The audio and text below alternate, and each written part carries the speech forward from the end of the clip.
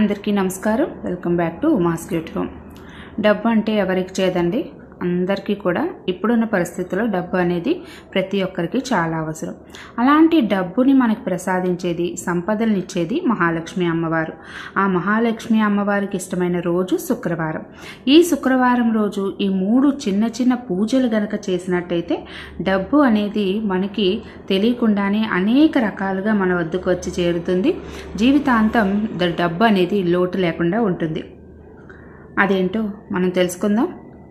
శుక్రవారం అనగానే ప్రతి మహిళకి ఒక ప్రత్యేకమనే చెప్పొచ్చు. ఎందుకంటే ఆ రోజు ఐశ్వర్య ప్రధాని అయిన ఆ మహాలక్ష్మీదేవికి సంబంధించిన రోజు కాబట్టి. ఈ రోజులో అమ్మని ప్రసన్నం చేసుకోవడానికి శత విధాల ప్రయత్నం చేస్తుంటాం. అలా అని అమ్మని కొలిచి మన ఆర్థిక ఇబ్బందులు తొలగించే క్రమంలో ఈ రోజు మనం చేయవలసిన మూడు ముఖ్యమైన పూజలు ఏంటి అనే విషయమే ఈ రోజు వీడియోలో తెలుసుకోబోతున్నాం. ఇంట్లో ఐశ్వర్యం పెరగడానికి అమ్మని పూజించాలంటే అది ఒకే ఒక రోజు శుక్రవారం. అదేవిధంగా శుక్రయోగం పొంది విలాసవంతమైన కోటీశ్వర యోగం గడపాలంటే మనం చేసే పూజ కూడా శుక్రవారమే. కాబట్టి ఈ ఒక్క శుక్రవారం రోజు మనం ఏ పూజ చేసినా మన సంపద ఎన్నో రెట్లు అనేది పెరుగుతుందనడంలో ఎటువంటి సందేహం లేదు. అలాంటి క్రమంలో మనం శుక్రవారం రోజు చేయవలసిన పాటించవలసిన మూడు ముఖ్య విషయాలు ఒక్కొక్కటిగా తెలుసుకుందాం. ముందుగా మొదటిది. శుక్రవారం మొట్టమొదటిగా మనం చేసే పని అమ్మని పూజించడమే. ఈ రోజున ఉదయం నుండి అంటే ఆరు గంటల నుండి ఏడు గంటల లోపు అంటే శుక్రహోర.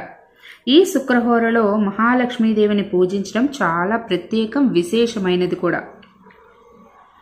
ఈ సమయంలో మహాలక్ష్మి అమ్మవారికి కుంకుమార్చన లేదు అంటే పువ్వులతో అర్చన. ఇలా వేటితో అయినా గోమతి చక్రాలు తామర గింజలు చిట్టి గవ్వలు కాయిన్స్ దేంతో అయినా అమ్మవారికి అష్టోత్తరం చదువుతూ పూజ చేయొచ్చు. అలాగే అమ్మవారికి ఇష్టమైన పుష్పాలు అంటే సుగంధభరితమైన పుష్పాలు మళ్ళీ జాజి సంపెంగ ఇలాంటివి. అలాగే ఇష్టమైన నైవేద్యాలు చక్కెర పొంగలి దద్దోజనం పరమాన్నం ఇలాంటివి మనం పెట్టి గనక పూజిస్తే మరింత విశేషమైన ఫలితం మనకు లభిస్తుంది. ఇక రెండవ విషయం ఏంటంటే ఈ పూజ చేసిన తర్వాత మీకు దగ్గరలోని వెంకటేశ్వర స్వామి ఆలయానికి వెళ్ళండి. అక్కడ ఆకుపచ్చ రంగు ఈ విధంగా ఆకుపచ్చని రంగు గాజులు అనేవి కొని అమ్మవారికి సమర్పించండి. ఇలా చేయడం వల్ల మన ఇంట్లో ఆర్థిక ఇబ్బందులు తొలగి ఐశ్వర్యం పెరిగి డబ్బుకు లోటు లేకుండా ఉంటుంది.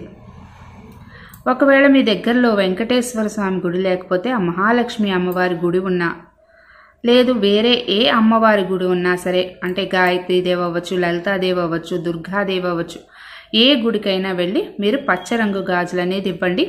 ముఖ్యంగా అయితే వెంకటేశ్వర స్వామి గుడి అయితే చాలా మంచిది.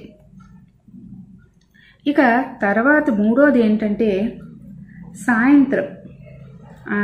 ఒకవేళ పని చేసుకోవడానికి వెళ్ళిన వాళ్ళైతే ఏడు గంటల తర్వాత అయినా కూడా ఏం చేయాలంటే మీ దగ్గరలోని విఘ్నేశ్వరుని గుడికి వెళ్ళి వినాయకుడి గుడికి వెళ్ళి అక్కడ తొమ్మిది నెయ్యి దీపాలు అనేవి వెలిగించండి. తొమ్మిది నెయ్యి దీపాలు. చక్కగా మట్టి ప్రమిదలు కొనుక్కొని వెళ్ళండి. ఒక తొమ్మిది అంత శుభ్రం చేసి చక్కగా పసుపు గంధం కుంకుమ బొట్లు పెట్టండి. పెట్టి స్వామికి ఇష్టమైన బెల్లం కూడా నైవేద్యం తీసుకువెళ్ళండి. పువ్వులతో అలంకరించి ఈ తొమ్మిది ఒక పేపర్ ప్లేట్లో ఆ యొక్క ప్రమిదలు పెట్టి అందులో ఇలా మనం తయారు చేసుకున్న ఆవు నెయ్యి ఒత్తులు అవ్వచ్చు. లేదు అంటే మీరు నెయ్యి వేసి ఒత్తులు కూడా వేసి తయారు చేసుకున్నవి అవ్వచ్చు. మనం వెలిగించాలన్నమాట. తొమ్మిది నెయ్యి దీపాలు. శుక్రవారం రోజు ఒక్కరోజు ఈ మూడు విషయాలు పాటించాలి. అలా చేయడం వల్ల కుటుంబం సుఖ సంతోషాలతో జీవించే యోగాన్ని మనకిస్తుంది.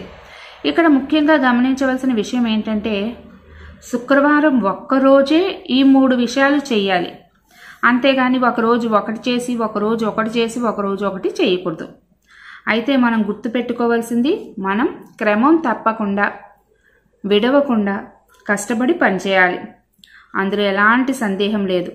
మనం చేసే పనికి ఈ చిన్న చిన్న పూజా పరిహారాలు చేసుకోవడం వల్ల మనకి వాటికి ఇవి తోడై మనకి మంచి అవకాశాలు అనేవి మనకు వస్తాయి అందులో ఎటువంటి సందేహం లేదు. నమ్మకంతో శుక్రవారం ఒక్కరోజు ఈ ముఖ్య మూడు విషయాలు పాటించడానికి ప్రయత్నించండి. అదండి ఈరోజు వీడియో. నాకు తెలిసిన ఈ చిన్న విషయం మీతో షేర్ చేశాను. నమ్మకం ఉండి విశ్వాసం ఉంటే తప్పకుండా పాటించండి. మళ్ళీ ఇంకొక మంచి వీడియోతో మీ ముందుకు వస్తాను అంతవరకు సెలవు నేను మీ ఉమా. ధన్యవాదాలు. సర్వే జన సుఖినో భవంతు. జై హింద్.